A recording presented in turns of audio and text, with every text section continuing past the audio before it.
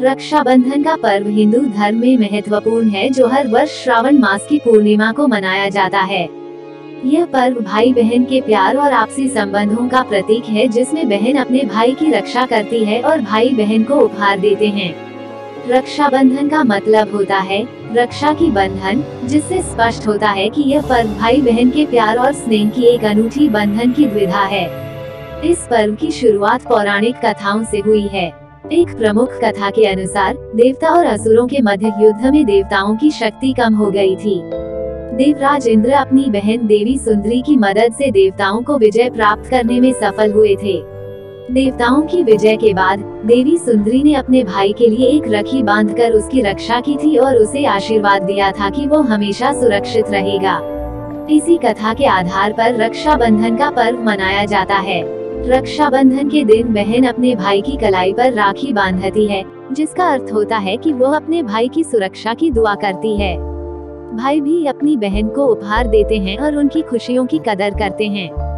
यह पर्व न केवल बच्चों के बीच माना जाता है, बल्कि यह सभी उम्र के लोगों के बीच प्यार और सम्मान की भावना को दर्शाता है। रक्षाबंधन का यह पर्व भारतीय संस्कृति में महिलाओं के महत्व को भी प्रकट करता है। इसके माध्यम से यह दिखाया जाता है कि बहनें भाई की सुरक्षा के लिए उनके साथ हैं और वे हमेशा उनके साथ खड़ी हैं। रक्षाबंधन के इस पर्व के साथ साथ विभिन्न क्षेत्रों में विभिन्न रूपों में मनाए जाते हैं।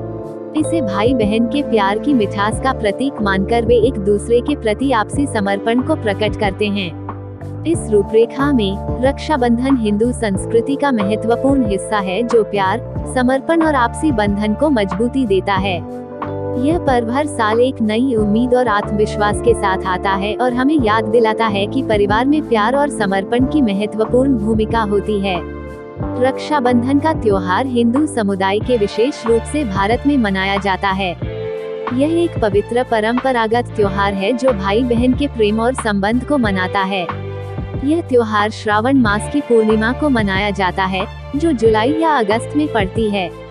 इस दिन बहनें अपने भाइयों के कलाई पर राखी बांधती हैं और भाइयों की रक्षा करने की शपथ लेती हैं। रक्षाबंधन का अर्थ होता है रक्षा बंधना जिसका मतलब होता है कि यह एक प्रतिज्ञा है कि भाई अपनी बहनों की रक्षा करेगा इस दिन बहनें सुबह सवेरे उठकर तैयार होकर अपने भाइयों की आराम से विशेष पूजा करती हैं। फिर वे राखी बांधती हैं, जो एक पवित्र धागा होता है जिसे बहनें अपने भाई की कलाई पर बांधती हैं। इसके साथ ही वे अपने भाइयों को मिठाई और तिलक भेजती हैं। भाई भी अपनी बहनों को उपहार देते हैं और उनकी कलाई पर राखी बांधते हैं। प्रतिज्ञा करते हैं कि वे हमेशा अपनी बहनों की सुरक्षा करेंगे। रक्षाबंधन का यह पर्व सिर्फ़ बहन और भाई के प्रेम को ही नहीं बल्कि परिवार के सदस्यों के बीच एक गहरे संबंध को दर्शाता है। यह एक मानवीय बंधन का प्रतीक है जो परिवार की एकता और सद्भावना को प्रकट करता है। इसके अलावा, यह भाई बहन के प्रेम को मजबूती देता है और उन्हें आपसी समझदारी और समर्थन का एहसास कराता है। रक्षाबंधन के दिन भाई बहन के बीच एक आनंदपूर्ण और खुशियों भरा वातावरण बनता है। परिवार के सदस्य इस दिन एक साथ मिलकर मिठाई खाते हैं, खुशियों के पल साझा करते हैं और एक दूसरे के साथ अच्छे समय बिताते हैं। यह त्योहार भारतीय संस्कृति में परिपूर्णता, परिवार के महत्व और प्रेम की महत्वपूर्ण मान्यताओं का प्रतीक है। इस पवित्र त्योहार के माध्यम से हमें यह याद दिलाया जाता है कि परिवार और संबंध कितने महत्वपूर्ण होते हैं और हमें एक दूसरे के साथ समर्पित और प्यार भरे रिश्तों की रक्षा करनी चाहिए। इसके साथ ही रक्षाबंधन हमें उपहार देने, समर्थन करने और परस्पर की देखभाल करने का महत्व भी सिखाता है। इस रूप में, रक्षाबंधन न केवल भाई बहन के बीच प्रेम का प्रतीक होता है, बल्कि यह समाज में सद्भावना, एकता और परिवार के महत्व को स्थापित करने का एक महत्वपूर्ण अवसर भी होता है। इस खास मौके पर, हम सभी को एक दूसरे के प्रति समर्पित और जिम्मेदार बनने का संकल्प लेना चाहिए। रक्षाबंधन का त्योहार हिंदू धर्म के महत्वपूर्ण और प्रिय त्योहारों में से एक है।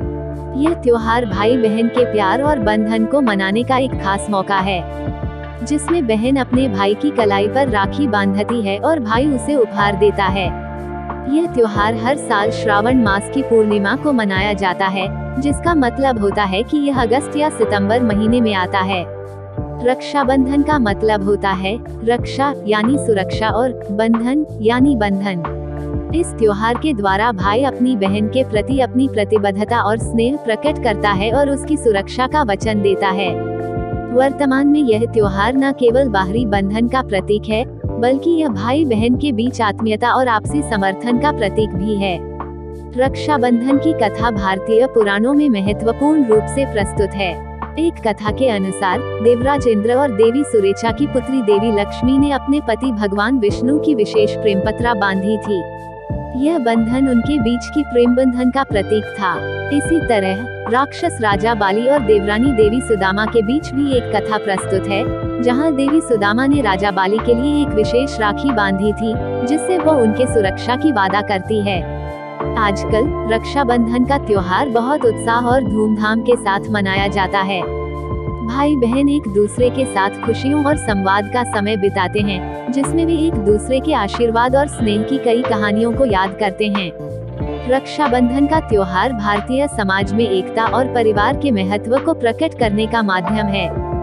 यह त्योहार भाई बहन के बंधन को मजबूती और प्यार से जोड़ता है और उन्हें एक दूसरे के साथ अपने जीवन की सारी चुनौतियों का सामना करने की प्रेरणा प्रदान करता है।